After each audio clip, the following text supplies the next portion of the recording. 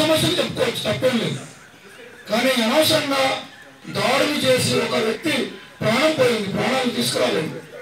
గతంలో మాల మాదిగల మధ్య కూడా ఇలాంటి గొడవలు జరిగినాయి. ఎంతో మంది ప్రాణాలు పోగొట్టుకున్నారు. సమస్యలు సమస్య సమస్యగానే ఉంది. చాలా ఇబ్బందులు పడ్డారు. అయితే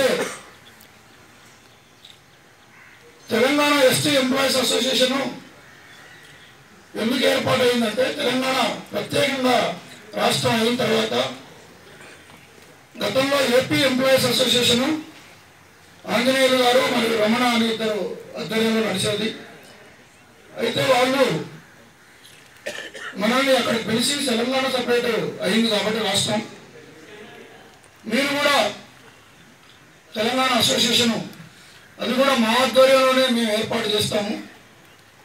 మీరు సహకరించండి. అన్నప్పుడు రాష్ట్రం సపరేట్ అయింది. మేము ఇన్ని రోజులు ఎవరు అధ్యక్షులు ఎవరు ప్రధాన కార్యదర్శి అనే విషయాలు మేము పట్టించుకోలేదు. తెలంగాణ ప్రత్యేకమైంది కాబట్టి ప్రత్యేక అసోసియేషన్ కూడా మేము ఫామ్ చేసుకుంటాము. అంటే వాళ్ళు ఒప్పుకోలేదు.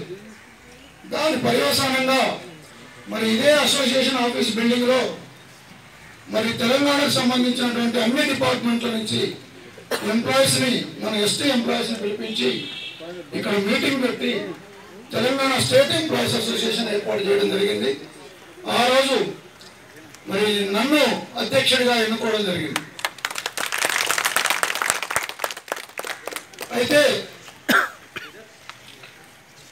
మరి అధ్యక్షుడు అయిన తర్వాత దాదాపుగా ఒక నెల రోజుల్లోనే మరి అసోసియేషన్ రిజిస్ట్రేషన్ చేయడం జరిగింది.